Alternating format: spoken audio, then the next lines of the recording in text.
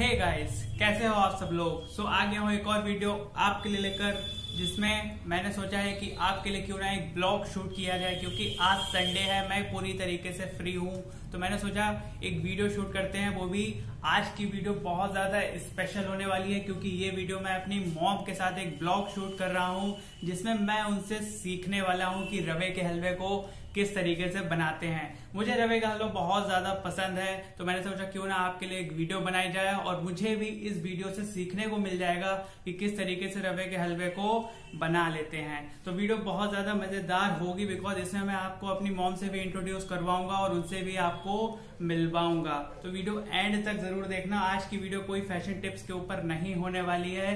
Just एक tutorial video है जो मुझे सीखने को मिलेगा और आपको भी बहुत ज़्यादा इंटरेस्टिंग लगने वाली है। तो वीडियो को बिना इसकी क्यों हुए एंड तक ज़रूर देखते जाना भाइयों। चलते हैं किचन में और देखते हैं मॉम ने क्या तैयारी कर रखी है और उनसे आपको मिलवाते हैं।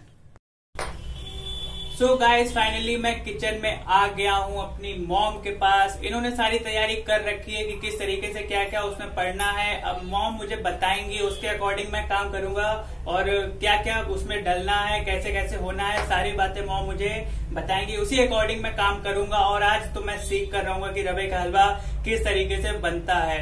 तो मैं आपको ये भी बता देना चाहता हूँ कि मेरी मॉम आज पहली बार कैमरे को फेस कर रही है तो वो थोड़ा सा हेजिटेट हो रही है। तो मॉम आप कुछ बोलना चाहेंगी? हेलो दोस्तों नमस्ते। आज हम अपने बेटे को रवे का हलवा बनाना सिखाने जा रही हूँ। चलिए वीडियो शुरू करती हूँ। ओके चलते हैं फिर गैस पे वो देखते हैं किस तरीके से क्या क्या बनना है और मॉम मुझे बताएँगे मैं उसके अकॉर्डिंग काम करूँगा। Let's go so guys mom ने बोला है कि सबसे पहले आपको जितना रवा बनाना हो उसको एक बाउल वगैरह में ले लें उसके अकॉर्डिंग एंड उसको आप जो है थोड़ी देर क्या करना थोड़ी देर उसको फिर भूजते हैं देन उसको हम इसमें जो है ऐसे डाल देंगे देन एक हम कल्चर लेके उसको थोड़ी देर के लिए भूजेंगे, उसको चलाएँगे कढ़ाई में जितनी देर तक वो, जब तक वो, उसका कलर नहीं बदल जाता है उसका कलर जब तक ब्राउन नहीं हो जाता, है ना, ऐसे ही होगा? उसका कलर जब तक ब्राउन नहीं हो जाता है, तब तक हम उसको जो है भूजते रहेंगे। और गैस की जो हम फ्लेम है, वो थोड़ी सी कमी ज़्यादा रखनी है? गैस की फ्लेम हम थोड़ी सी ज़्यादा नहीं रखेंगे, उसको कम ही रखेंगे। देन जितनी देर वो, आप देखते हैं कितना टाइम लगता है इसको जो है ब्राउन होने में। तो गाइस अब इसका कलर जो है हल्का सा ब्राउनिश हो चुका है। तो इसमें हम थोड़ा सा अगर इसमें हमको मॉइस्चर रखना है तो इसमें हमें थोड़ा सा देसी घी डालना पड़ेगा। तो आपने साइज़ के अकॉर्डिंग मतलब चम्मच अगर आपका बड़ा हो तो आप एक चम्मच डालें, लेकिन अगर चम्मच छोटा हो तो दो चम्मच ज़रूर डाल दें क्यों मम्मी, ऐसी करना है? उसमें हम थोड़ा सा जो है मॉइस्चर बनाने के लिए घी डाल देंगे देन इतना ही काफ़ी है इसमें फिर इसको हम फिर से थोड़ी देर चलाएँगे। और थोड़ी देर चलाने के बाद जो है हम, उसके बाद क्या करना है मम्मी? मम्मी कह रही है कि इसमें जो है पहले आप ड्राई फ्रूट्स भी जो आपको डालने हैं, वो आप भूंज के रख लें। तो हमने ड्राई फ्रूट्स जो है, रखे हुए हैं। देन हम आप ये ड्राई फ्रूट जो है, इसमें डाल देंगे। इस तरीके से काजू और बादाम करके जो भी हमें डालना है, इलायची पर फ्लेवर के अकॉर्डिंग इलायची हमको डालनी है तो वो भी हम ज़रूर डाल सकते हैं। तो ड्राई फ्रूट जो है हमने डाल लिए हैं इसमें। अब इसके बाद क्या और ये किशमिश भी डाल दी है। इसके बाद तो हमारा वो रवा जितना बेक होना तो वो उतना बेक हो चुका है।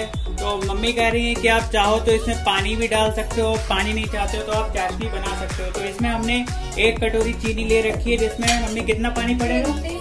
इसमें तीन कटोरी पानी पड़ेगा जिसमें ये रहा पहला और ये दूसरा और ये तीसरा। तीन कटोरी पानी डाल के हम इसको थोड़ी देर के लिए गैस पे रख देंगे जिससे चाशनी बन जाएगी। देखिए आप चाहो तो आप पानी भी डाल सकते हो क्या करिए चीनी घुलने तक हम इसमें को पूरा इसका जितना गर्म होगा उतनी देर उसको गर्म होने देंगे जब ये कम्प्लीटली चीनी बस चीनी घुलने तक गर्म करना है पूरी चाशनी नहीं बनाना है।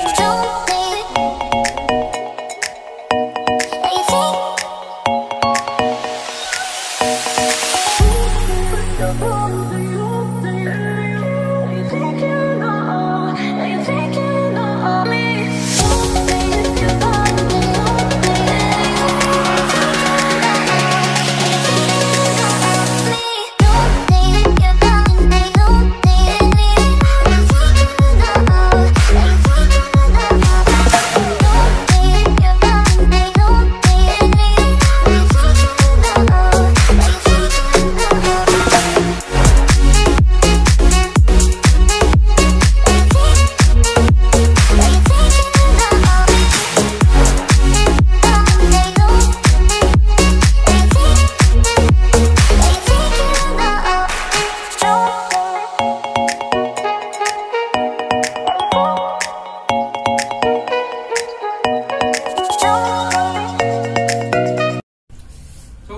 फाइनली जो है मैंने ये हलवा बना लिया है। अपने मम्मी को यानी जो हमारी आज की जज है उनको टेस्ट करा के देखते हैं कि हलवा किस तरीके का बना है। तो मम्मी टेस्ट करके बताओ इन लोगों की हलवा कैसा बना है।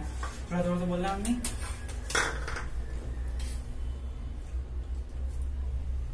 कैसा हाँ, तो बहुत अच्छा बना है। सही में? जैसे पहली बार बनाया है, उस हिसाब से ज़्यादा ठीक नहीं फिर भी बहुत अच्छा है। अच्छा। तो जैसा कि कह रही हैं तो दस में से कितने नंबर आप देना चाहेंगे मुझे? दस में से मैं आपको आठ नंबर दूँगी।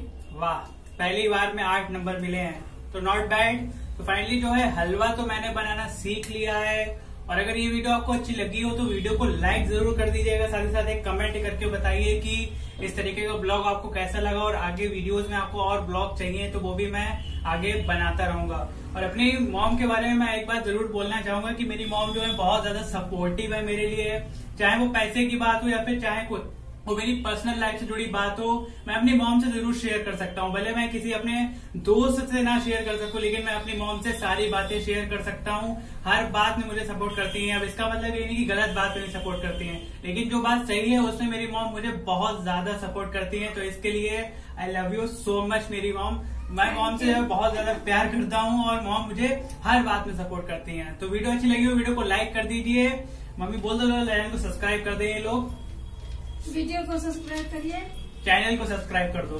चैनल को सब्सक्राइब करिए। और वीडियो को लाइक कर और दो। वीडियो को लाइक करिए। और साथ ही साथ एक कमेंट भी कर दो। कमेंट भी कर दे मॉम पहली बार कैमरा फेस कर रही है तो थोड़ा एजिटेशन हो रही है उनको कोई दिक्कत नहीं है पहली बार में सबके साथ होता है। तो मिलते हैं नेक्स्ट वीडियो में न्यू टॉपिक के साथ।